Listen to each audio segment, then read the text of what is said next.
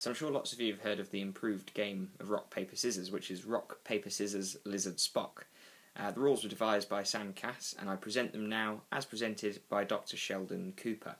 So, in order that everyone understands the rules, listen carefully.